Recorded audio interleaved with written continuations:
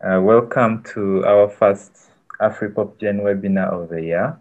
And today we have an exciting pharmacogenomics talk um, by George Darosha and Dr. Hussemeddin Othman. Uh, the talk is titled Annotating African Variants uh, in ADME Genes. Um, so just a quick introduction. Um, so George Darosha is a PhD candidate at the Sydney Brenner Institute for Molecular Bioscience. Um, he is investigating genomic variants of potential pharmacogenomic impact via genomic and, prote and protein-based analysis. Uh, his MSc work also consisted of variant analysis relevant to cancer pharmacogenomics in Africa. Uh, George enjoys working in bioinformatics and takes active roles in teaching and sharing what he has learned. And he's also engaged in multiple community outreach programs, which help to teach school learners more about genomics. And uh, Dr. Hussemeddin is a co-founder of Helixa Scientific, uh, a startup for providing bioinformatics and genomic services. Um, however, recently, uh, he is a postdoc fellow at the Sidney Brenner Institute for Molecular Bioscience, and he's also working on the H3 Africa GSK Consortium uh, together with George um, in analyzing the pharmacogenomic diversity in sub-Saharan Africa. So uh, without further ado, uh, over to you, George. Cool. Thank you, David. Uh, great introductions. Uh, so yeah, I'm George. I'm from the Sydney Brenner Institute at Wits University, and I'm going to be speaking to you today about work we've done to add more information to African variation, specifically in ADME genes. So what are ADME genes? These are genes which are generally implicated in drug response reactions, and they're all related to some factor of behavior uh, that the drug goes through in your body, either the absorption, the distribution, metabolism of it, with the excretion of the molecules. And we, of course, are researching the changes in DNA, which likewise would affect the protein structures of those genes and thus have a physical impact on drug response. So, how many ADME genes are there? Uh, there is a list kept by PharmADME, which has defined 295 ADME genes. Of those, 32 are core genes, genes that we have a lot of evidence for, um, that we know that they're involved in drug reactions, and 263 extended genes, uh, which are, you know, it's not that we don't think that they're involved in drug reactions, just there isn't as strong evidence for that. And of course, the core genes include some of our favorites. Um, cytochrome is quite prevalent in the core genes. Cytochrome 2D6, very important for cancer drug metabolism. 3A5 and 3A4, very important for broad drug metabolism. And DPYD for some specific drugs like fluorouracil. Of course, we needed African data sets to investigate, and we are fortunate to work with excellent collaborators who helped us put together the high coverage African ADME dataset um, collecting a, a, large amount of genomic data from across the African continent, um, forming two strong bases in Southern Africa and Western Africa. Now, annotation and prediction. I'm keeping this fairly broad uh, for the broad audience here, uh, but it's quite an interesting topic across genetic fields too. So, what these mean are to add existing info onto a genetic variant regarding its type, where it is, you know, its position, coordinates, other names for it, um, or maybe even a prediction. Is this variant likely to disrupt my gene function? Is it likely not to? Is it conserved? Is it not? And there are a lot of tools to do this. Conventional tools, which you may know of, are SIFT and PolyPhen that can help characterize your variants into tolerated or non-tolerated, or deleterious or not and then other tools can incorporate you know additional metrics like conservation etc to try and get you a more honed in view. Now traditionally you would use this tool in a fashion like you have a variant you don't know much about it you give it to your annotation or prediction tool and it gives you an outcome in a binary sense nasty or good or deleterious or neutral. Um, but since they've expanded you know to extend that range to you know maybe there isn't as clear cut two lines some variants may be likely on the side of deleterious or more likely neutral uh, but current tools today tend to provide a range of scores which is really a lot more complicated to to interpret Um, and every tool has its own parameters, and maybe every tool isn't best for the data you're working with. So at this point, you know, we're having a look at the kinds of algorithms that you can run and the tools to use for prediction. And we're also finding ourselves a bit, bit lost. Uh, but luckily, there was amazing work done by Zhu et al.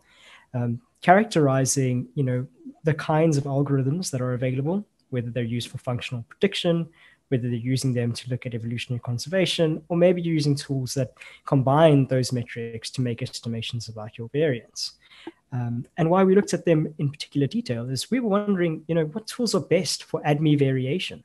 Um, the nature of ADME genes is unique in that we, we understand them uh, by how they're involved with drugs we use today, but they may not have had those evolutionary pressures as other genes that are used to build up the tool models. So maybe there are some that work better.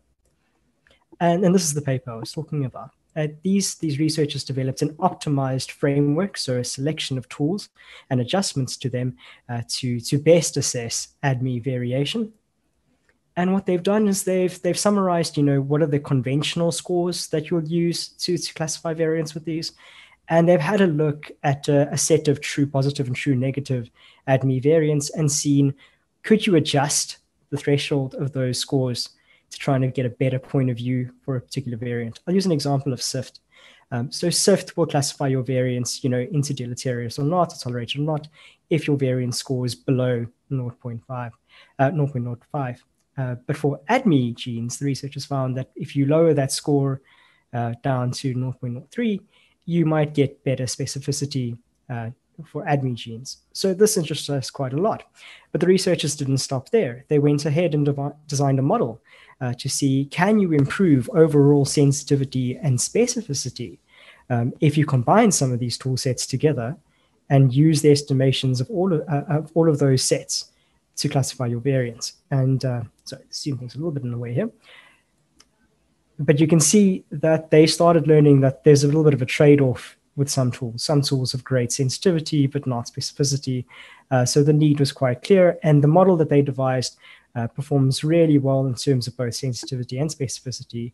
Um, and it incorporates, you know, a set of five tools. So we went on to include those into our models. Uh, so we built a bioinformatics workflow uh, that would take our variants stored in our variant call files, submit them to a, a you know, workflow that would annotate them with these scores, find the prediction scores for these, and then automatically choose the variants that fit through.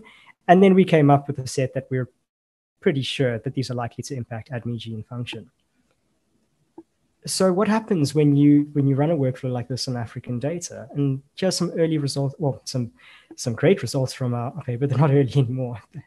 um, and uh, just to, to add here, we, we were also interested in you know what variants are distributed like across the African continent. So we did some PCA analysis just to differentiate population clusters and we took all that data, those 458 genomes, supplemented them with a lot of data from Thousand Genomes Project um, and a lot of uh, genotyping data too. So we could generate this plot.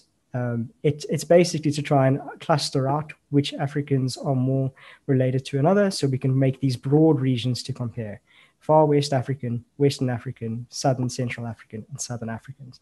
Um, now, the circles I've drawn here are just di- diagrammatic. Um, the, the clusters were determined uh, algorithmically with k-means clustering. Uh, but this gives us a very broad view. And of course, it's, it's not perfect. Uh, this is the data we have. If you have more African data, this will get more accurate. Um, so this is just an early start. Right, so following the models of, of running through all this data, we can compare these uh, clusters together we identified around 900 of the variants that are likely to impact gene function according to that model. And we saw something very interesting. If we try to stratify them across our groups, you find that only 104 of those are shared between all four of the African clusters, whereas every individual cluster tends to have similar numbers, if not more, variants unique to their own cluster. So we found that quite interesting, that there's quite a high degree of variability in variants that might impact ADME gene function.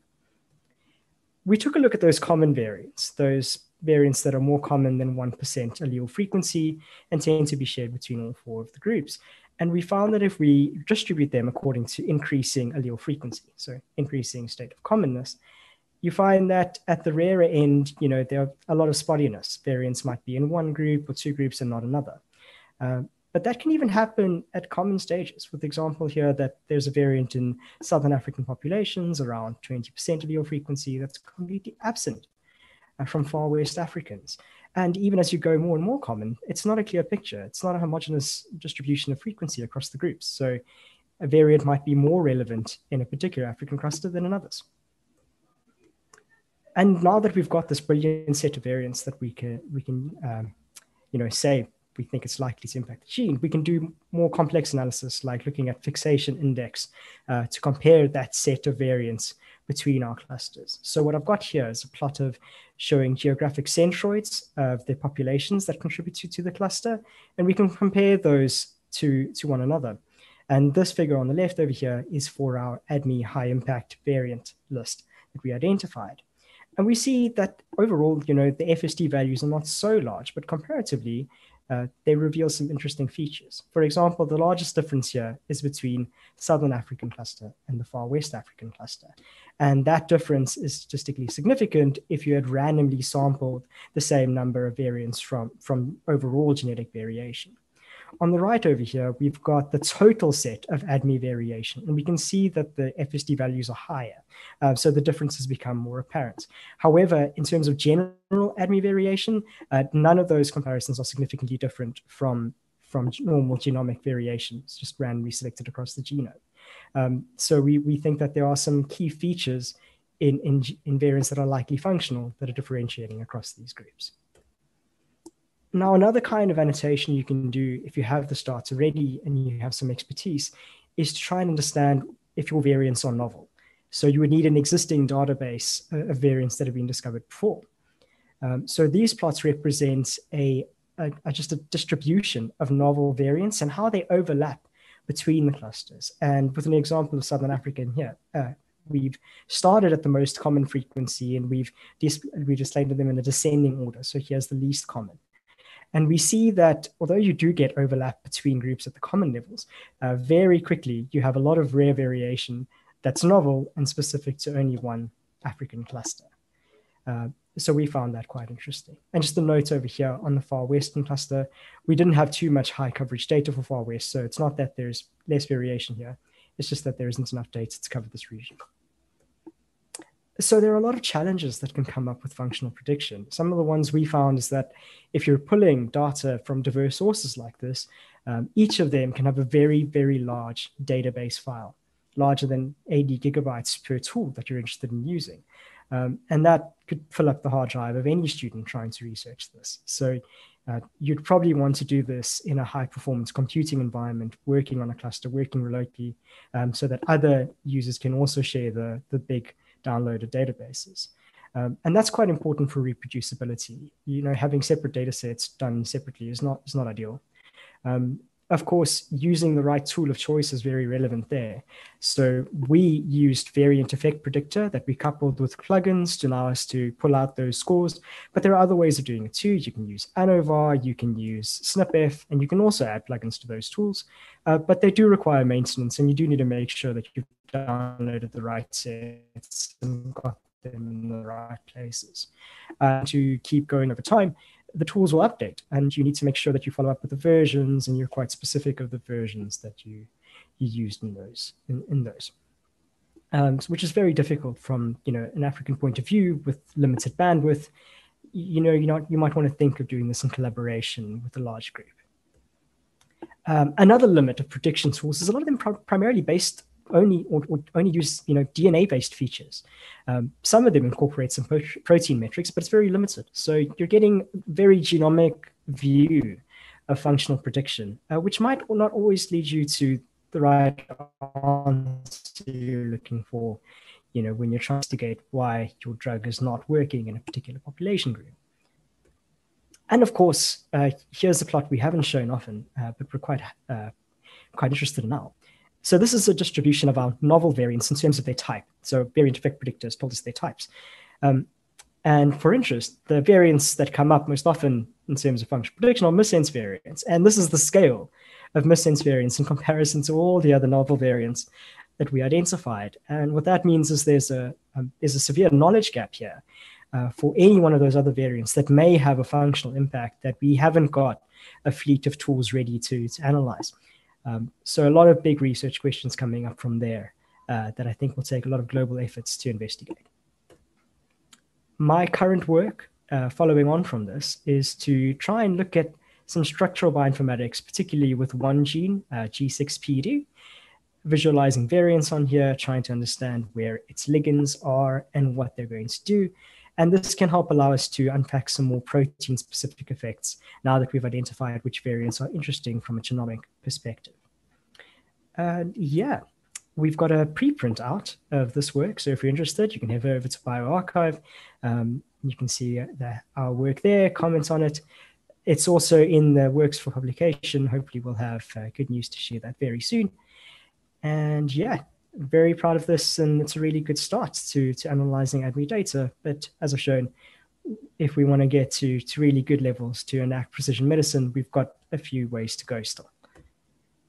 And of course, uh, you know, acknowledging everyone who worked on this. This work was not done in isolation. It's a really big collaborative effort. Thanks to all the collaborators. Uh, working closely with all of you has been fantastic. And of course, to Hussein and my supervisors who have uh, been like invaluable. Really, really great to work with all of you guys there. Um, I'm going to let Hussein continue because he's going to expand on some interesting things and happy to chat and take questions after that. Thanks, Dave. I um, wanted to talk first about uh, one of the major outcomes that, uh, uh, that we had, we, we got from the, uh, our ADME analysis uh, uh, for the high coverage genome.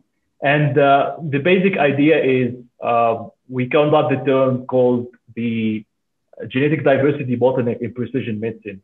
And basically here, the, uh, the idea is that in an ideal scenario, each uh, genetic makeup in a population is assigned to clinical action. However, if the granularity of the stratification of the population increases and uh, the proportion of rare variants with functional impact is significant, uh, it can leave may, many individuals uh, outside the actionability plan.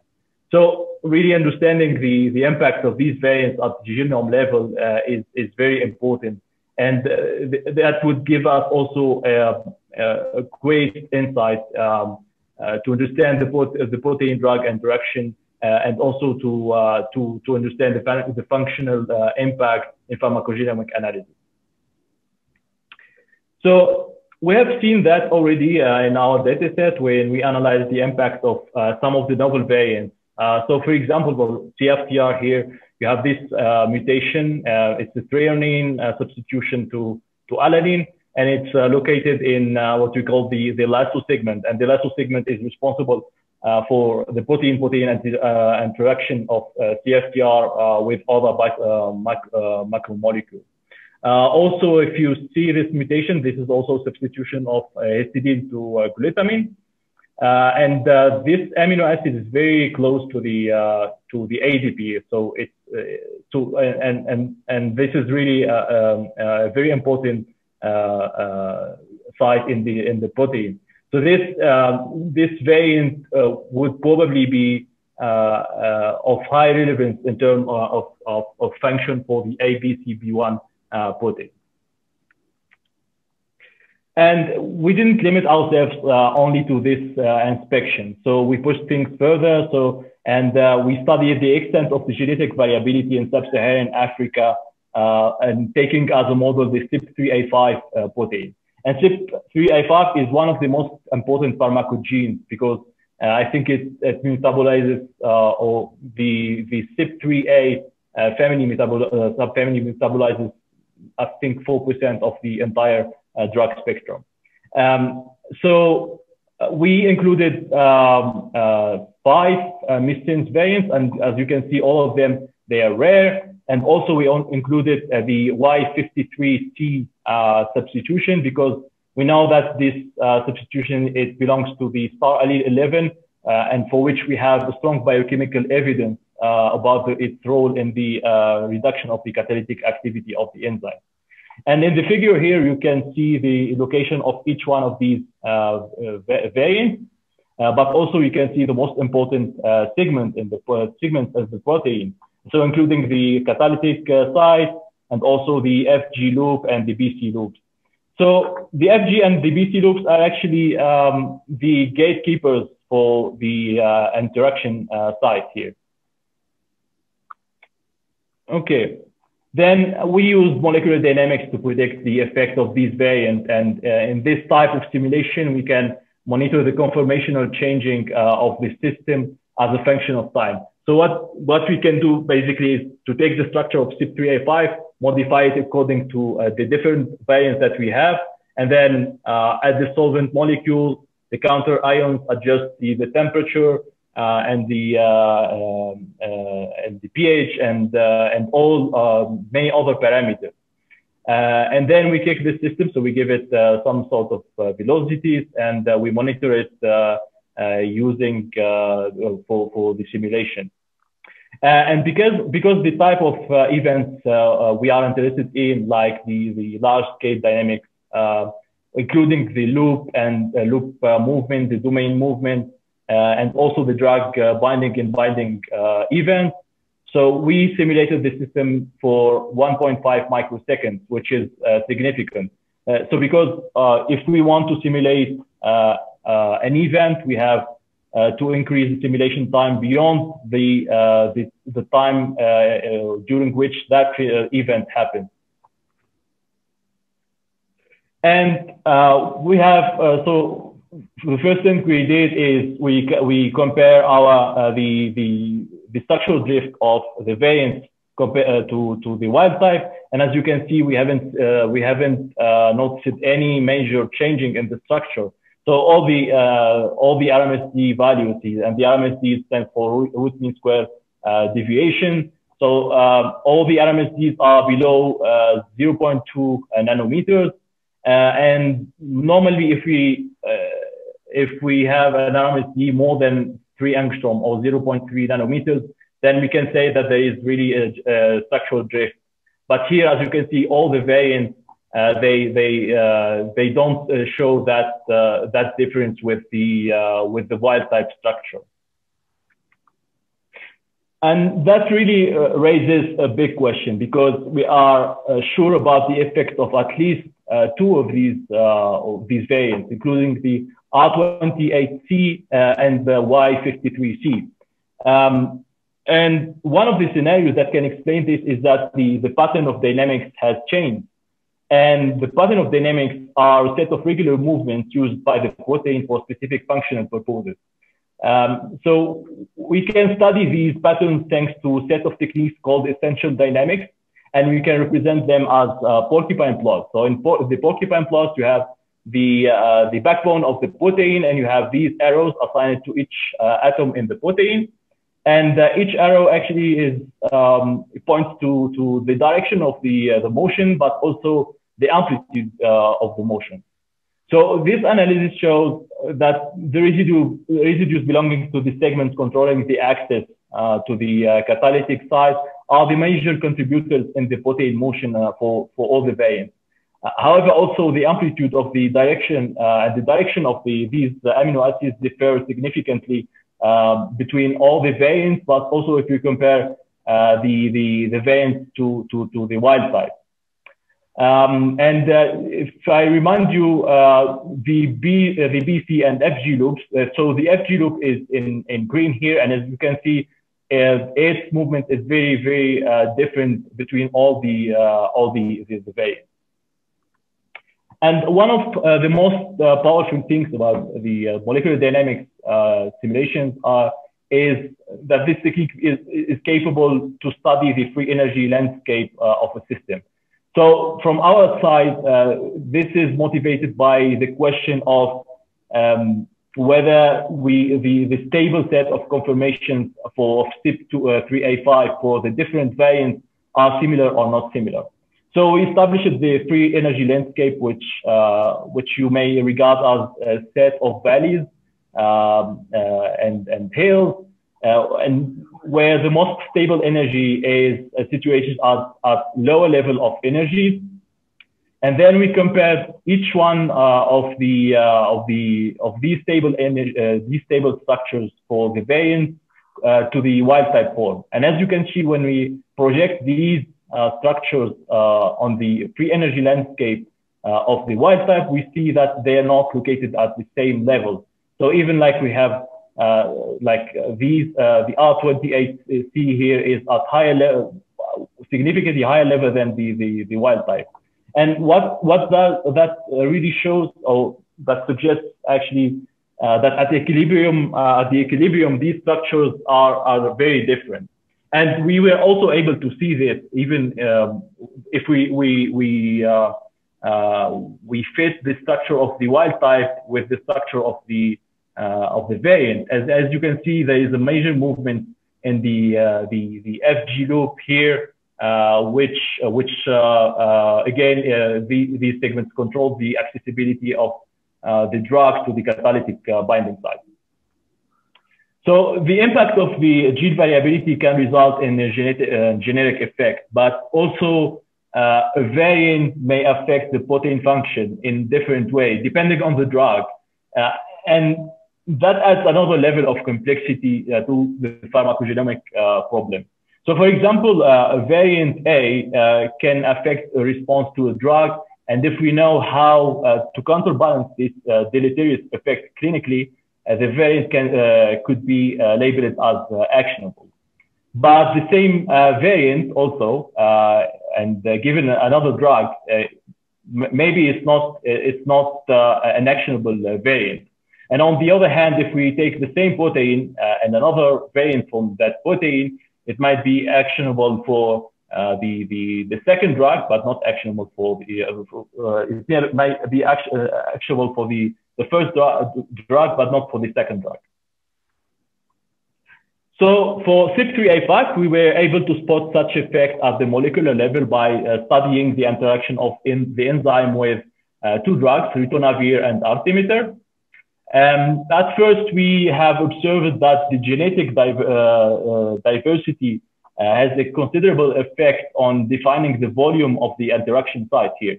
And you can see this from in, in the V38A uh, variant, uh, also this variant and, and, and this variant. Then we noticed that the pocket volume um, and the interaction energy uh, are highly correlated for ritonavir, uh, judged also by the uh, R-square coefficient here. but it's not the same case for, for artemether. also, you can see that um, how some of these variants for ritonavir, um, they show um, they, they, show um, an unfavorable interaction energy. However, for uh, artemether, it's not the, the same case here. Uh, and that that maybe that suggests that the uh, the interaction with altimeter um, might may not affected in the, the case of these uh, variants, but for the ritonavir, uh, definitely there is uh, an effect of these variants uh, on the on the binding properties of the of the drug. So the takeaway here uh, is that genetic variability might have an extended effect on uh, the functional properties of the protein that include both plasticity related and uh, drug binding related characteristics. Uh, also, we can speculate that uh, rare variants might have a significant functional relevance uh, for determining the pharmacological properties of, of ADME genes. So now that we have seen such effect on uh, of the rare variant on the ADME uh, genes, uh, here is the, the problem that we are facing. if we are going to sequence more samples, we have we may identify more more rare variants. Um, uh, ipso facto, we may also identify uh, unique, other unique actionable uh, or unique putative actionable variants. And the problem uh, can be formulated as follows. So we want to detect the variant uh, with likely impact on the protein function based on structural and biophysical uh, annotation. However, the variant prediction tools are very limited in, in such regard. Uh, perhaps the SIFT and PolyPhen are the widest used tools in, uh, in, uh, in such, for such aim and none of them actually uh, are able to annotate based on the structure. Well, they can they can definitely integrate some structure, integrate some structure data, but they don't they don't have an ad hoc solution for for annotating based on the biophysical and structural relevance. And these two uh, tools also suffer from uh, the sensitivity uh, sensitivity issues. they are poorly benchmarked, um, and this is maybe one of the reasons that we use a different annotation schema in for ADME genes using the GMiner workflow that we use for for for the genomic annotation. And on the other hand, if uh, if you want also to apply uh, multi-scale uh, modeling methods like molecular dynamics or Monte Carlo simulation, um, you won't be able to screen uh, all the variants uh, in your genetic pool because these methods uh, they they don't really scale very well and they're laborious and they require um, um some some set of hardware like GPUs in the case of molecular dynamics. So it's not really an option to use molecular dynamics to annotate uh, all the, the variants in, in, uh, in let's say, of, uh, the, in ADME genes or in the genome. And for, for such, uh, for such end, we have, uh, we have uh, developed the SWAT workflow and SWAT here stands for structural workflow for annotating ADME gene targets. And SWAT consists of around uh, 30, uh, 3,500 uh, lines on, on Python. Uh, and uh, it also it, it uses um, so SWAT also uses other other sets of packages and software. And the the sequence of execution for for these tools they are monitored by by Nextflow. and SWAT is actually composed of two workflows. So we have the auxiliary workflow and we have also the main workflow. And for the main workflow here, uh, this is the main engine for SWAT because it's able uh, to uh, to annotate the, the variants and to calculate different uh, properties. Then in development SWAT, we kept in mind uh, four main principles. So the first one is that SWAT must uh, have the ability to predict the variant effect on the folding energy and the effect on the conformational behavior of the protein. And you can see this from uh, the case of TP53 uh, protein. So uh, we have the wild type uh, in uh, green, and we have uh, a highly destabilizing mutation in, in orange. And you can see there is nearly a perfect match between the two structures. So that shows that if you only consider the, the rigid structure in the, or in or one single point um, single point calculation uh, in in in your uh, in your analysis, then it might not maybe uh, it might not give you the the full picture of what's happening exactly in in your body. And the second principle for SWAT is that uh, the, the workflow should be able to, to tell if a variant is uh, possible interaction uh, with a drug or not. The third principle is uh, SWAT should integrate different levels of uh, and information uh, from different sources to annotate the, the variants.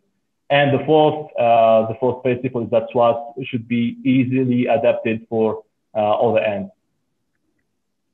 And basically to run the, the, the, the, main workflow, a user needs only a VCF file. Uh, all other dependencies are, uh, are stored in an internal database, which is generated using, uh, using the auxiliary workflow. And SWAT will collect uh, different properties that serve as input for random forest machine learning model that predicts the impact of a variant uh, on the protein structure. And uh, lastly, the report consists of a detailed uh, CSV file and also an interactive HTML, HTML file for a better readability of the, uh, the results. So currently we included 26 genes uh, in SWAT and they, these genes they were selected for uh, for their uh, relevance in uh, in pharmaco, pharmacogenomics and precision medicine. So we got 11 genes from cytochrome P50, P450 family. we have we got also three three genes from the glutathione estrone spirase. And uh, we got other genes, including uh, DPYD and SOLT1A1. Um, however, the user can easily use the auxiliary workflow if he wants to, to add other uh, ADME or, or even not add the gene. So for example, if user wants to annotate uh, proteins or to annotate variants from uh, a specific, uh, involved in specific pathway, uh, he just needs to provide the structure of, for these uh, corresponding uh, proteins and their identifiers and the auxiliary workflow will take care all the, for all the work and will, will generate the database for, for, for these um, proteins. And then SWOT report uh, includes a rich set of information and detailed, uh, uh, detailed inventory of uh, sequence-based and structural-based annotation tools. So for example, the uh, red flags uh, are a set of predefined rules that, given if, if they happen that there is a very big chance that this variant will be deleterious. So for example, you have the disulfide breakage. You have also the uh, uh, the, the the burial of the charge uh, of the charge within the core of the protein. You have also the uh, the switch of the second to uh, of the secondary structure. Uh, and SWOT also can report the drug binding hotspot within the protein and also the the stability hotspot for for that protein. Finally, SWOT integrates random forest machine learning model trained or using uh, nearly 1,500 uh, PDB structures of uh, different mutations. And the model can be used to, as an additional indicator uh, of the relevance of the, the variant to predict. Um, and then, uh, and then uh, you can use this, all these sets of information to decide if you are going to prioritize this variant or, or not. So if you are interested in, in SWOT, you may find it in, uh, in uh, my GitHub account uh, under the repository named SWOT. And finally, I'd like to thank all my our collaborators, uh, collaborators of the consortium uh, led by Professor uh, Scott Hazelhurst. Um, we have so all our, our, members from the Wits University, Rhodes University, CBio, uh, University of Khartoum, uh, University of British Columbia, and of course our uh, founders from uh, GSK. Also, I'd like to thank all the CHPC uh, guys who really facilitate this work, including uh, the the they, they they they put to our to to to our rescue the the the, the GPUs GPU machines in order to stimulate the the the molecular dynamics um, and with that, my dear fellows, uh, I'd like to thank you and uh, for your patience. And uh, yeah, thank you so much. Uh, thank you, Sam, and thank you, George, uh, for this wonderful presentation. Uh, so with that, I invite questions from the audience. you could post the question in the chat box or raise your hand to unmute. perhaps I can start with, with a question for George. Mm-hmm. Um, yes. So, um, could you comment maybe on some of the challenges, maybe with putting together the hard data set? For example, we know that people have different data sources. Some of them could be low coverage, others could be high coverage. So, on some of those challenges. And then oh, yeah. also, yeah.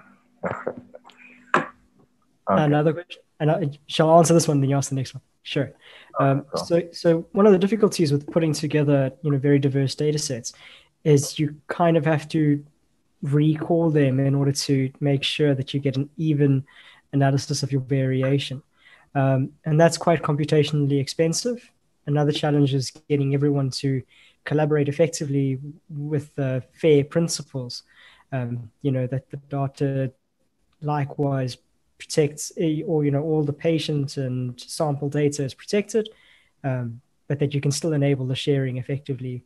So there are a few issues there but uh, there's a great great series on on fair data and how to work coming up with h3a bionet if you're interested in learning more about that. Oh, okay great. Uh, and then the other thing is about a database for um, these pharmacogenomic variants. Um, like how because would, is it like a, a, way forward you're looking at to catalog some of them and because if we have to implement like precision medicine in Africa, mm -hmm. then this would be maybe a good resource. Yeah, absolutely. Um, these variants, we, we haven't really made a decision of whether we're going to make a database so people can store and access some info about them. Uh, but there are some efforts to to make a large, you know, precision medicine portal. Um, uh, Hussein and I involved with that to try to capture all the all the known data for drug response in African populations, specifically with with clinical backing. And I, I think that's one of the challenges for moving our work forward. Is it's you know, if you want to enable precision medicine, you've got to take this to the clinical side of experimentation so you can have more concrete um, estimations of what variant is going to do and what you should adjust to make sure the drug reaction goes well, um, w- which is difficult because you, you need to layer lots of sources clinical, genomic, proteomic, uh, structural bioinformatics all needs to come together to enable that. And okay. Yeah. Okay, thank you. Uh, and then we have a question here from Brian. Uh, he says that the PCA only shows 54% of the variation. And he's saying, is that, is asking, is that too low or it's fine? Uh, it's a good question. It's enough for, for what we're comparing, you know, that we we're trying to get a, a decent estimation of how these groups separate. But as I mentioned, um, as you as you keep adding more African data sets, that that PCA is probably going to become more a, a line than distinct groups uh, that can separate out. Um, so yeah, good good question. Okay, uh, uh, uh please keep your questions coming in. Um, I see a Prof. Colin has unmuted. Yeah. Uh, yes. Uh, uh, first, I want to thank you both for a great presentation and very exciting, really. So I just wanted to you to discuss your observations when you're looking at the diversity of the pharmacogenes. I see you have sort of lumped them together, but I would want to think that the different groups, whether they are drug transporters, drug metabolizing enzymes, and other um, genes, they are under different evolutionary pressure and their diversity and difference might be different. Have you had any opportunity to look into the different classes and see any differences?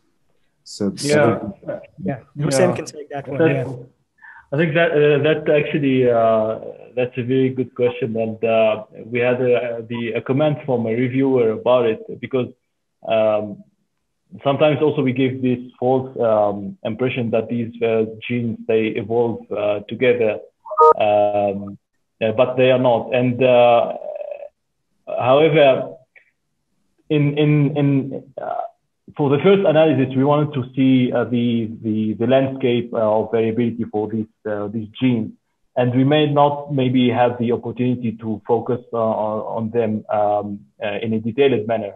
But maybe in the, the second phase uh, that we are ongoing now, we, we're doing that. And I actually uh, David is here is uh, is really uh, focusing on CYP2D6, CYP2D6 gene. Um, so we is doing the haplotype analysis. the he evaluates lots of um, algorithms for for genotyping, but also uh, we, uh, we, we are also studying the DPYD uh, gene, um, the CYP3A5. So definitely these genes, they, they really they really deserve uh, an individual focus in order to to raise this question. Um, in terms of evolution, really, I don't. Uh, I don't. Uh, I mean, in your opinion, I don't think that uh, they, we will have the same uh, pattern um, for, for for for for these for these genes, even within the the class or the same family of of protein. Thank you. Uh, just a quick follow up. I think you both pointed out uh, the fact that there is a substrate uh, variant specific uh, effect, which makes it difficult because if variant A affects drug A severely, you would want to make a generalization, but that doesn't sometimes work. When you go to drug B, the outcome is going to be different. So I was wondering how do you want to address this uh, this issue if we are going to have any generalizable precision medicine tool? Um, well, just you, just uh, uh, do you want to, to say something? I'll, I'll say after you if you want. Yeah, sure. You can you can do from the protein side. Um, ideally, we would need something like uh, a scalable assay that you could introduce different drugs into and, and get a readout for different variants and how they behave. Um, and then you create like an ontology structure of a variant drug relationship. That's ideal. Um, and we aren't trying too much of that. We're still on the surface level of, of understanding what variation is there, but we're very interested in seeing that work happen in future. Yeah. So okay. for, for my side, um, I think uh, we're just scratching the, the surface now, and what we are seeing now is just the the tip of the iceberg because this uh, genetic variability is really problematic. Um, so for my side, I don't really believe in a generic uh, guidelines or for for that that incorporates all the drugs together. Or but in this regard, maybe the uh, the uh, the predictive techniques and the AI, AI techniques they can really help uh, in stratifying the the phenotypes so that we can uh, we can have um, uh, let's say quasi uh, quasi uh, generalized guidelines. So and and in the future maybe because the, we are expecting the the the sequencing cost to drop uh, definitely we will need uh, we will need another maybe another perspective uh, to approach precision medicine because I think precision medicine now is not a, at least at least um, at least in the current situation it's not only about uh, collecting uh, genetic data and phenotypic data. Uh, I think the, the there are lots of other sides that we should cover, including the economical sides and the business models and uh, and the and the ethical uh, side. So so yeah. Okay, thank you. Uh, thanks, Prof. Colin. Um, maybe as a follow-up to that, as uh, we wait for more questions from the audience. Uh, so, how since for some of the genes, uh, if you've already um, stabilized the, the system for molecular dynamics for some of the drugs, uh, would, it, wouldn't it then be easier afterwards to look at follow-up drugs? Because if you already have, I think the, the bulk of the work is really setting up the system uh, for the molecular dynamics. So it should be easier afterwards to look at some other drugs? Um, uh, depends actually, yeah. because most of the time when we want to establish the uh, the complex between a drug and and its target, we use molecular docking. And the molecular docking now, although they uh, they really uh, uh they are progressed very well the last year, uh, last couple of years, they're still not uh, as accurate as we we want. so like if you if you want to set up all these simulation parameters, when you can do that, you have uh, CYP3A5, I mean, all this, all this set of parameters, you can use it for other drugs, but then you have to start from a structure where you are sure enough that the drug will interact uh, with that way with your, your uh, with your protein. Um, so, so yeah, I, I can't really answer with yes or no. So really it depends. It depends on how much you have uh, as uh, structural data uh, how much also you have as biological data, because definitely uh, these biological data that can be used to restrain the um, the uh, the docking poses and to to get a high quality uh, complexes. Uh, but the the other side of the story is that um, uh, yeah, I, I, think we should also focus on these methods because in the upcoming years we're expecting there's already a revolution that that's happening in the structural biology uh, with the upcoming uh, of the the uh, the electron microscopy, um, cryo microscopy, and the PDB database now is uh, is uh, is really um, uh, more rich with these kinds of structures, and with with this with this technique, you we will be able to simulate entire um, complex um, structure biologically relevant macromolecules. So in the maybe in the next years uh, we will have uh, uh, the the whole proteome covered by the structures by the by the PDB, and if we can have that, then and maybe we can uh, we can get uh, better annotation plans for for our variants. Uh, okay, thanks, Hussein. Um, we have some more questions from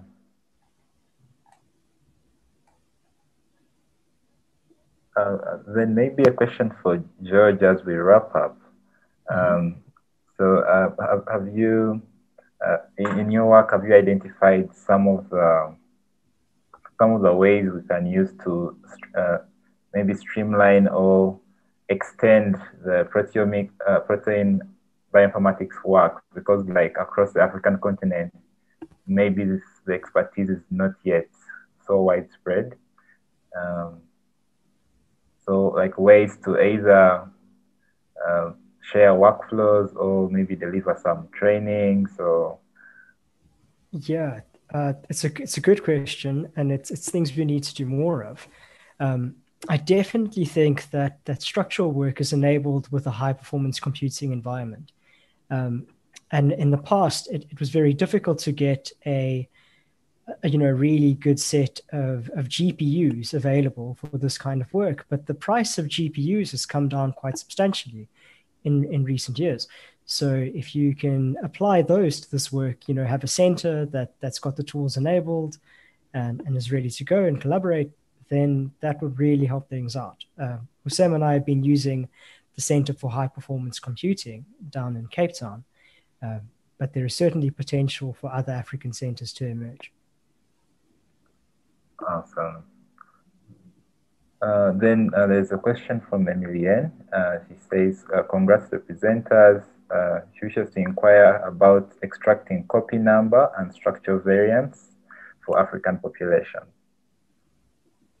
Well, uh, we will definitely have to put you in touch with our colleague Lara, who is becoming our resident expert on copy number variation. David, perhaps we should invite Lara for a talk here. Yeah. That, that would be awesome. I think she's already here. Yeah. Okay.